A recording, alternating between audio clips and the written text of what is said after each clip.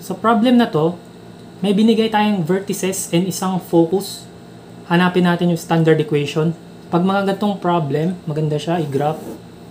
Kasi given points yung binigay. Ang vertex 1 natin ay nandito. Sabihin natin vertex 1 siya. Negative 2, 3. Ang vertex 2 naman natin, negative 8. Nandito siya. Positive 3, yung y.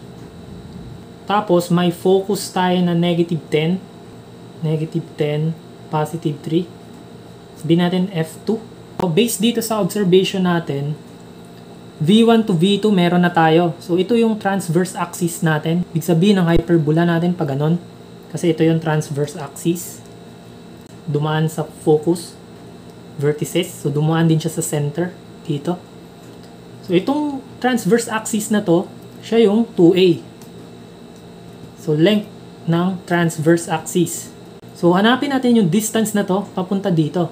So, if negative 2 to, negative 8 to, So, 6 units yan by inspection. So, ito ay 6 units. Divide 2. Ang A natin ay 3. Or A squared ay 9. Nakuha na kaagad natin by inspection lang. Or kung gusto mo siyang algebraic, disregard mo yung mga sign na negative. So, gawin mo siya siyang positive. So, 8 minus 2. So, 6 units. Ang center ay yung midpoint ng V1 to V2. So, yun yung center. By inspection, makukuha mo din yan. Tingnan mo, same level sila ng Y. 3, 3, 3. So, may Y na kagad tayo na 3. Tama. Yung X na lang ang problema natin. So, midpoint formula negative 8 plus negative 2. To, yung sa X. Divide 2. So, negative 8 plus negative 2 is negative 10 divided by 2. Negative 5 to. Ang standard equation natin ay x plus 5 squared over plus minus y minus 3 squared equals 1. May over dito. Meron na tayong a which is 3. A squared ay 9. So, since pag ganito yung hyperbola natin, ilalim siya ng x. So, x ang nauna kasi pag ganun. Pag pa ganun yung hyperbola natin, y naman dito. Ganun lang siya, no? So, a squared ay 9. Wala pa tayong b squared. Sa b squared, so, alalahanan natin na may focal length tayo na center papunta dito sa isang focus na given. So, ang distance na yan, c yan. Yan. From center papunta dito. Center natin ay negative 5, positive 3. Makukuha mo yung distance, negative 10 dito. Disregard mo yung sign, 10 minus 5. So, 5. Ang C ay 5 units. Or by inspection lang din. Since negative 10 to, to negative 5. So, 5 units to.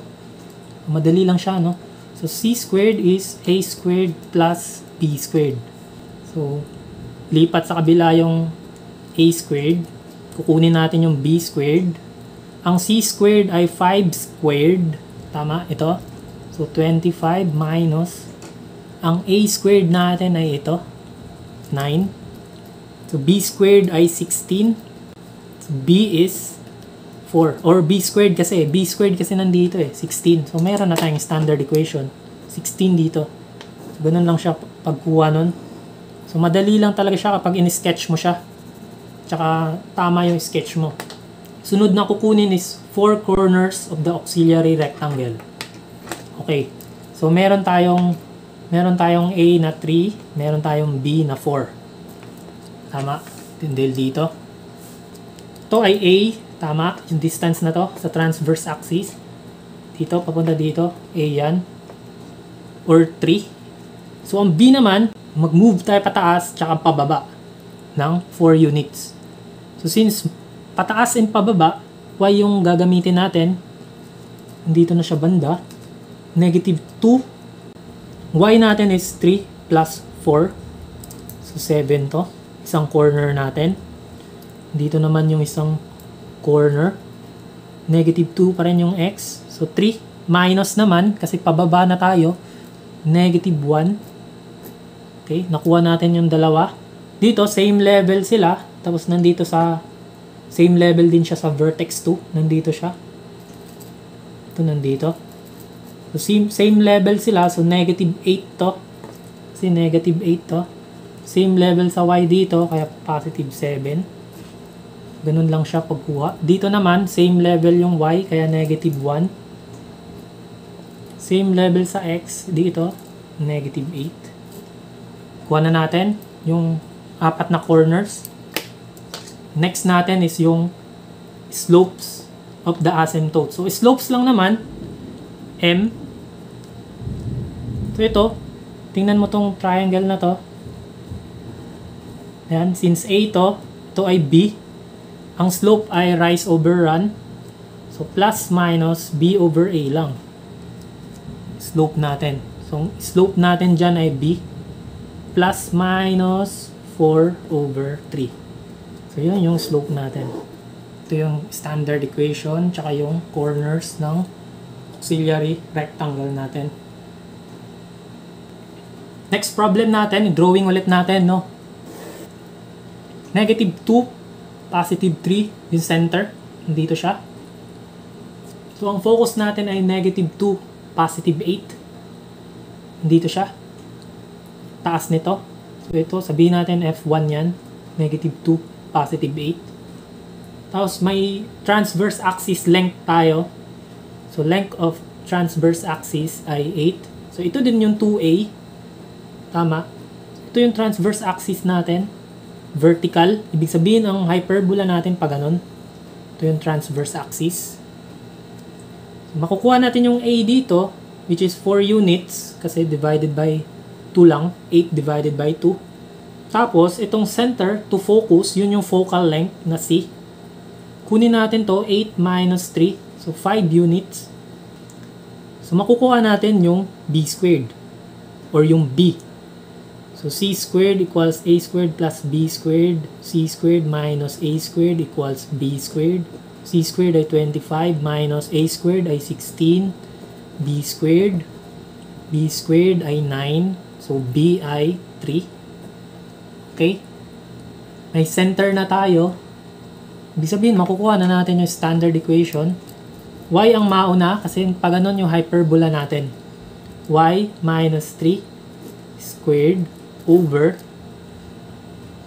ang a squared natin ay 16 to minus x plus 3 squared over b squared natin ay 9 to equals 1 so standard equation kuha na kagad equations of the asymptotes.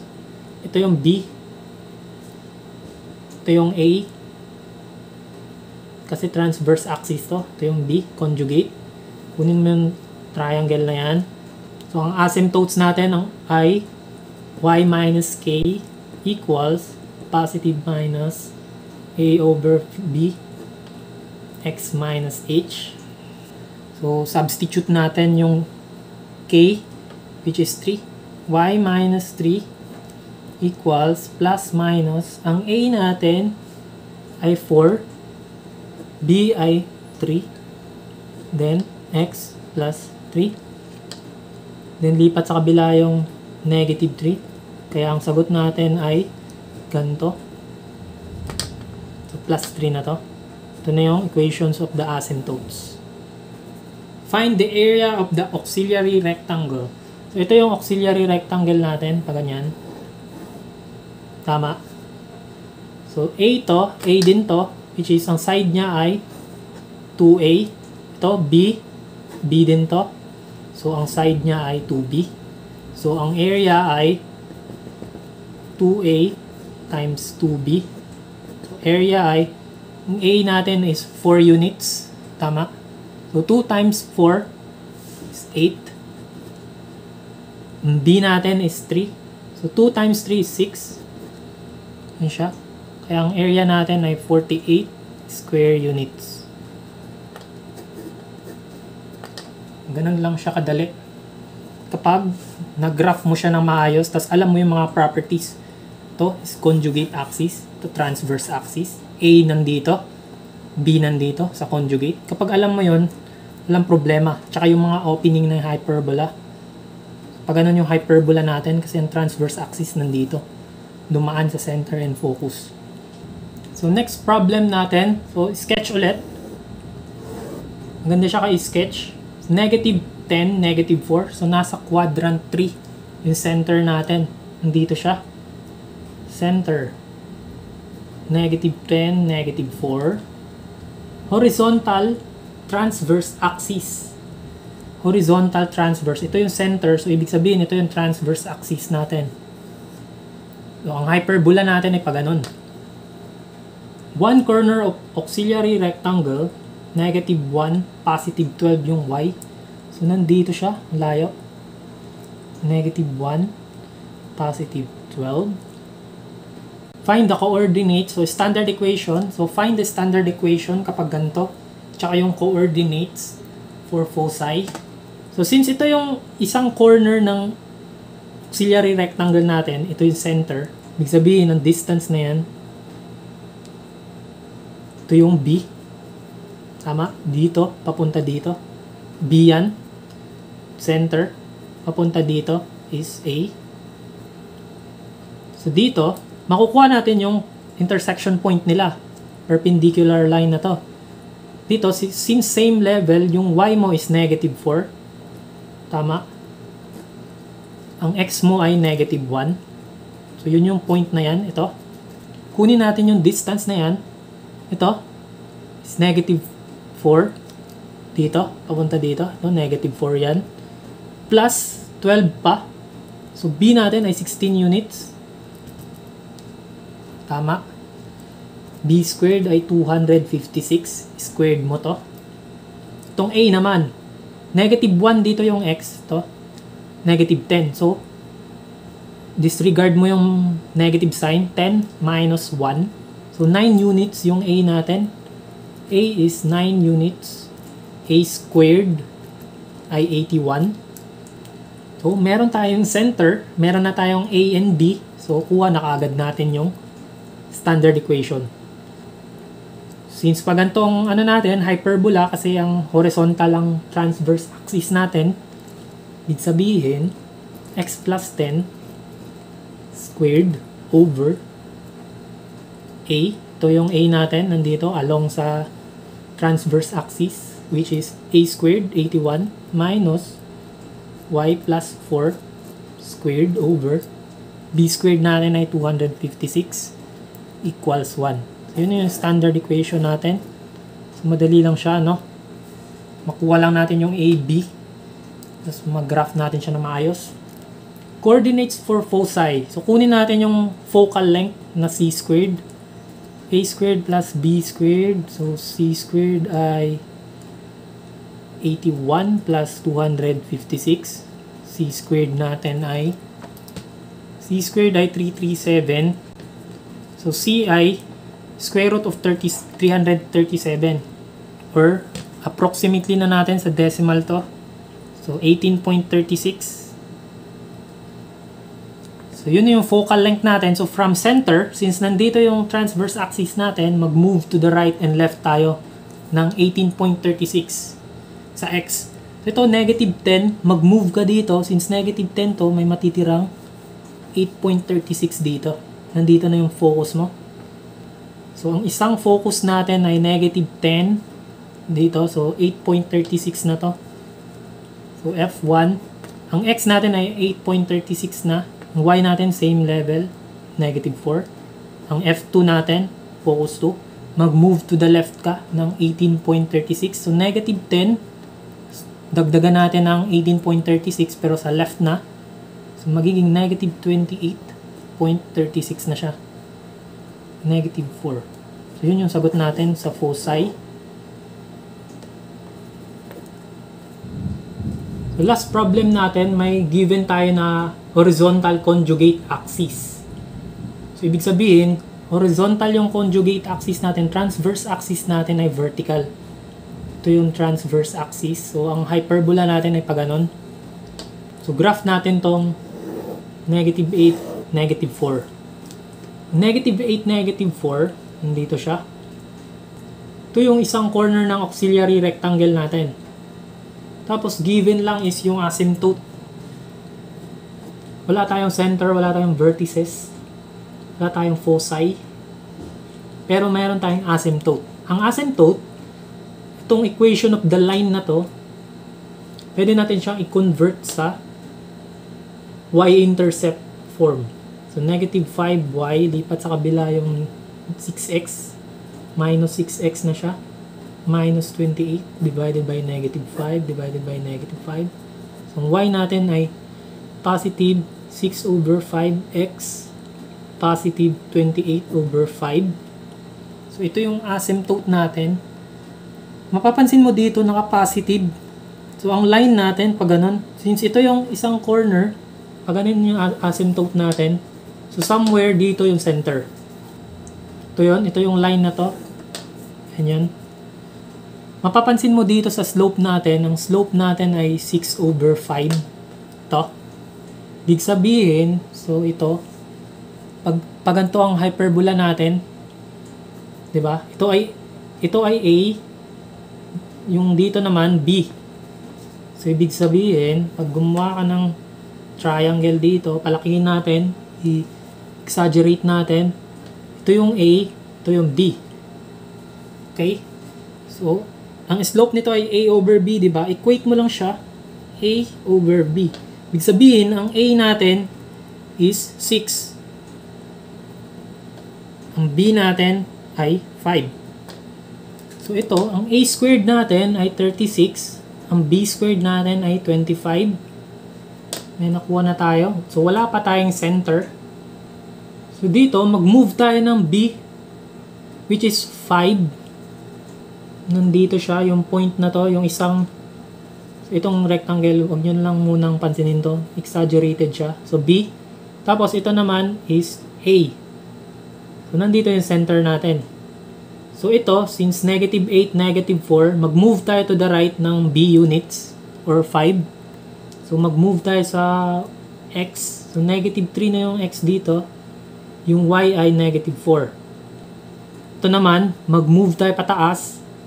So, Y yung gagalawin natin. Magdagdag tayo ng 6. So, positive 2 na yung Y. Ang X ay negative 3. So, ito na yung center natin. Center. Yan. Nag-move tayo ng B. From dito sa auxiliary rectangle, nag-move tayo ng B. Tapos, mag-move tayo ng A dito. Since nandito yung transverse axis, ito yung con- nandito yung conjugate axis. So, if B to, B din to. Ganun lang yung principle niya. A to, A din dito. Ganyan center at negative 3, positive 2. Tapos, ang vertices natin, since ito yung ano natin, hyperbola, ito na yung isang vertex, vertex natin, V1. Nakuha na kagad natin yung isang vertex. Tapos dito sa center na to, mag-move tayo ng A, pataas ulit. So, negative 3 ulit yung X. To 2 plus, ang A natin is 6. So, 8 na to. Ito na yung vertex 2. Solve na natin. Ito yung vertex 1. Center and vertices. Then, tapos last natin is yung standard equation na. So, center, negative 3 and 2. So, y ang mauuna kasi ang hyperbola natin ay pag ganun. Pag ganito ang hyperbola natin. So, y minus 2 squared. a squared natin ay 36. Ito. Minus x plus 3 squared over b squared ay 25 equals 1. So, yun yung standard equation natin. So, ito, alalahanin natin na positive slope to. Itong line na to. Or yung asymptote natin. Ito yung transverse axis, A. Or nandito yung conjugate. Ni-reflect lang natin yung B dito kasi same lang naman sila B.